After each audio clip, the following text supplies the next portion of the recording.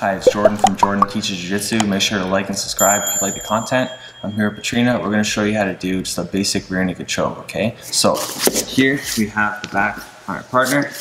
We have our over under grip. We've got our hooks in. And for me, just to make it easy, I'm just going to grab uh, the wrist and hold it with my underhand, okay? So now it's one hand against one hand instead of uh, two against one, okay? There's a lot of techniques you can do where it's gonna be making it so you trap their arms and it's no hands against one hand, which is a lot easier.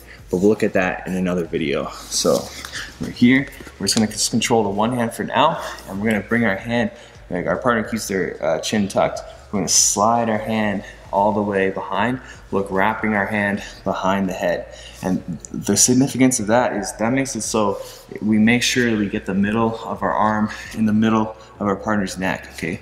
We don't wanna have any sort of angle. Like if I grab here, like on the shoulder, and then start trying to finish, maybe I have like a kind of strange angle. I wanna be completely in the middle and reinforcing with my head beside her. So now try to escape, try to get out very hard for her to do if I have my head uh, away from her, try to escape and get out.